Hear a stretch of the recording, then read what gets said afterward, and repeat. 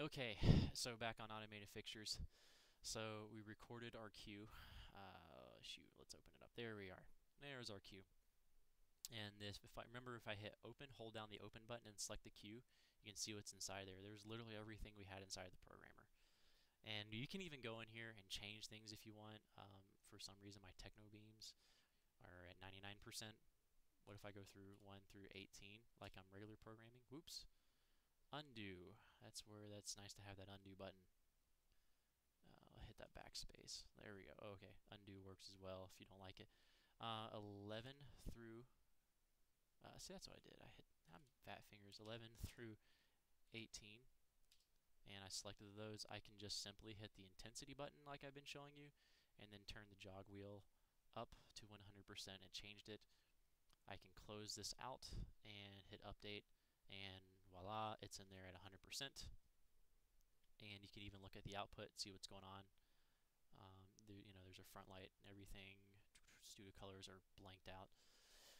Um, yeah, so that's pretty much the basic concept. Now, this is what I can do is that I can uh, remember I can knock out certain fixtures I was telling you about. You can knock out certain features, which is really helpful sometimes because you do. Sometimes you record something and you kind of go, "Oh crap, I didn't mean to do that." Sometimes tracking gets in your way and you realize, "Oh, that's right, that's from that cue," and I just want to knock it out or I want to add it in. Um, sometimes, uh, what else? You want to um, just straight up change it because you don't like it anymore.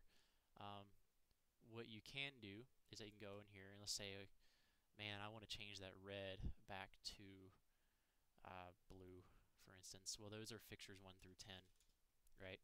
So I'm highlighted those in blue. And I can literally hit double tap color. And this is just like you've been doing, uh, programming other colors. Slide it over to blue. And remember, this is in blind mode. So blind mode is hiding what I've been changing. So blind mode is on. Notice I've selected blue, but I still see red. That's because I'm in blind mode. I don't see what I'm changing because if I'm in a live show, I've actually done this before. I've programmed another show while I've been doing a show. and let's or if there's a change that's I want to need to make immediately that's live and I don't want people to see what I'm doing, I just hit blind. Uh, but I want to see what I'm doing, so I turn off blind. And it changes to blue. And then I can close all these guys, and I can hit close, and it updates it. Another way to do that is I could have simply just selected the fixtures, changed it to blue, and then hit record cue and the cue number, which is 1, Q1, hit enter. That window would have popped up, say, hey, do you want to merge these? Hit merge, bam, there you go. Um, just two different ways of doing it, the same problem. Sometimes it's nice to know both because sometimes you want to see what's going on inside the cue as well. Um, just two different ways of doing it. It's a lot of blue. Um, anyway, it's a lot of blue on that stage right now. Uh, what else uh, is there? Oh yeah. So what's cool is that you can, let's say if I want the intensity value of those side lights, those studio colors, to be controlled by something else. This is where these multiple faders can have some, you can make them powerful. You can make them have some fun for you. Well, I want to knock it out, so I want to open it up. And we're going to, these are all selected. Now, um, these guys come in handy. You can hit intensity. So now it knows I'm talking about and I can hit uh, knockout. As you notice, as I did that, all the 100% went out. And if I even hit, it's on blind mode, so you don't notice it, but even if hit blind, uh, actually it's not going to change it. but the reason why you wanted to go in here and do it to knock out it, you don't want to do 0% is because I want this value this intensity value to be completely controlled by another cue list, by another fader or something else.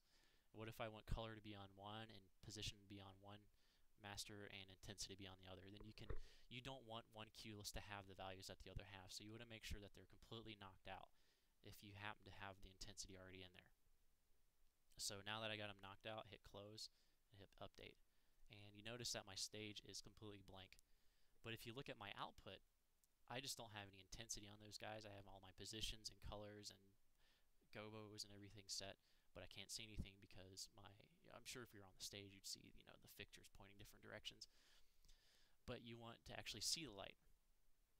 So you can go fixtures 1 through what was it? We we want to see 1 through 10. Let's try that.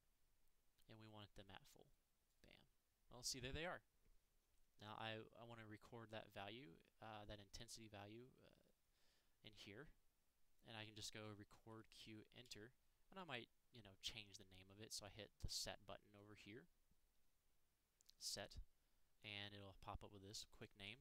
I want to say um, side intense intensity. There. That way I kind of know what's going on.